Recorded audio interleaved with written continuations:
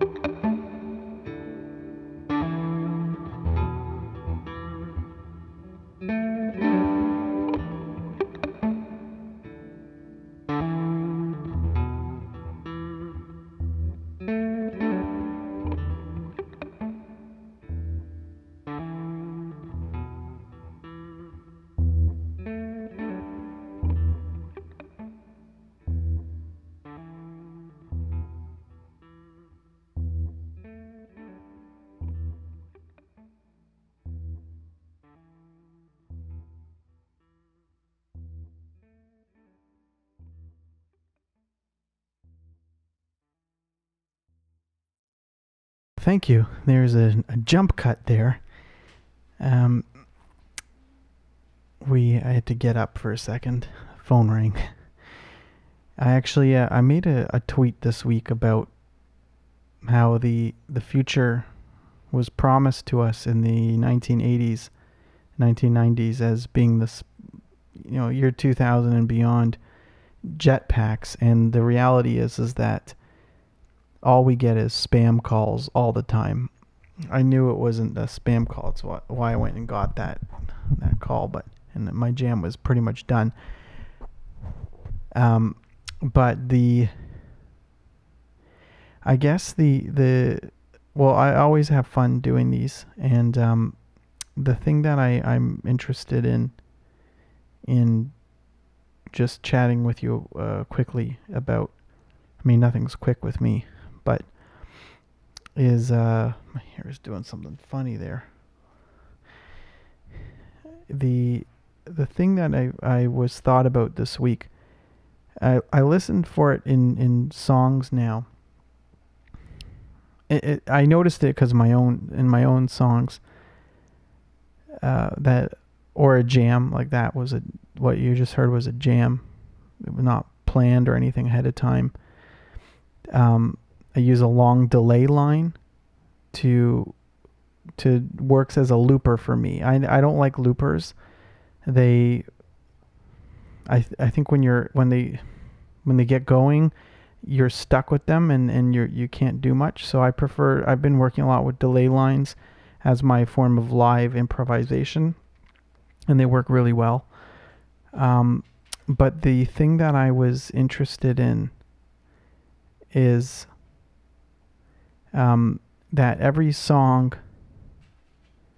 has a a moment. And that moment is like what the song was sort of it wasn't the the moment's never really planned. It's kind of like this moment makes the song worthwhile in a weird way. It's uh, they they also call it in photography the decisive moment when it's the perfect moment to take the photo. You got them at the exact right, like a subject being photographed. You got them at the exact right time. But for me, it's, yeah, I guess it is something similar. Is that this this moment develops really well, and I it was funny. I was I was listening to the uh, Chameleon by the Headhunters on the radio a few weeks ago, and that one that has a it has that moment in there because the, the head of of chameleon is i don't love like don't don't don't don't don't don't it's kind of corny you know it's not the it's it, and they would know it too but what makes that track amazing is what the jams that unfold in the second and third and fourth halves like it, it you think it's over and and they come back at you And so that's a good example of I wish I could just play it and and, and because it would drive home the point if you don't know the song, but it has these magical moments in them. And I, obviously that track is um is like the one of the birth points of funky jazz, fusion jazz, acid jazz. Um, with those jams, there's kind of like a string sound that comes in, and it's a and there's a bass line that goes do do do do do do. I'm not doing it justice, but that's what I'm I'm getting at. If you know that track, um, but it's there. There's like this theory that I have. I think can can really it can really ex- expand out. Yeah, it's it's uh activity a lot of activity here. This Hey, get over here. This theory can can really um, expand outwards, and one of the ways it does that is um, like I was you could apply it to your day that there's like sometimes this one moment that makes a day I don't want to say worthwhile. I think every day should be worthwhile. Um, but I had that moment when I went to a cafe near an office I work at downtown. And originally, the cafe is in a boutique hotel. And, and the first time I went there, and the my espresso was like five dollars. I was like, whoa, sticker shock. Um, espresso should in in our currency should be in the three dollar range. It's it's a you know like to have it five dollars is like whoa. That means all the other uh, boutique drinks are probably seven or eight or something lattes. So um, originally I didn't like. I was like, ah, whatever. Uh, I'll just do it. And then um, I kind of realized that it, it's a really nice break in this this boutique cafe, and it's it's kind of worth the five dollars because it's uh what what the that that um break represents is like five dollars. It, it, like it's a nice place. The atmos the people are nice you kind of get what I'm saying is that like the five dollars really um, uh, is almost I don't want to say priceless. That's but that's what that Mastercard commercial uh, slogan kind of refers. I'm st- I'm petting Teddy so he doesn't keep barking at the door. Um, that's what that that um, Mastercard uh, commercial was hint was kind of getting at is that some things cost like a vacation is it might cost people thousands of dollars, but the the lifetime of memories is priceless. But my point of this cafe story is that I had kind of trained myself to say, yeah, it's it's worth the the five dollars, and um, I was there uh, yesterday, and I and I, I with my brain primed that this is like my little break, it was uh, it was one of those moments where it was really enjoyable, and it was one of those moments where it it kind of made the entire day, and it was you know I spent the five dollars, had a very nice um, cortado. Cortado is my drink lately, but um, beyond that point of the day, nothing really topped it. Um, and and for me, it's uh, I and I spoke about last week. I go to bed a little earlier, so chances are for me to have a, a really good moment, it has to be in the first for first half of the day. I'm quite tired by the evening, but they're there too. I mean, there's sometimes I'm able to practice a bit before bed, some guitar, and and and that can be the moment, that decisive moment. But the um the the real point though is not is not the coffee in the in in the daytime. It's really about in music and listening for what you think is the this perfect moment of a song and I I bet you most of them are not they usually happen near the end of the song because that's where like a little bit of a jam might have happened. A lot of 70s uh, tracks, I think, is it the 70s? 60s and 70s rock, funk, whatever. You'll notice they actually uh, they they fade out, and it's really weird because they have some kind of jam usually at the end. Oh, jazz tracks do it too. They they have a jam, uh, jam at the end, but they were faded out because the producer thought that this. Well, one is that they they had limited time. They had to fit music onto LP, and then also maybe it just the producer might have said like, let's cut this. And I sometimes always wonder like if we could get access to these recordings and like hear what was on, what unfolded, it would just be really amazing um, so that's really all I wanted to, to talk about here to wrap things up with this uh, episode and jam. But thank you for listening, and yeah, I have I'll put links in. I have a Patreon, but I also have a Ko-fi where you can buy me coffee, just a way of support. And yeah, it's uh I love doing it, and uh, I I knew if I was gonna show up to do this like today not to show up in a way where oh I got to do my podcast. And I really I really had primed myself to be open to possibilities with playing music today. And and I'm I think it was a nice little just a short little jam that's all I really need to do to keep keep things moving keep this going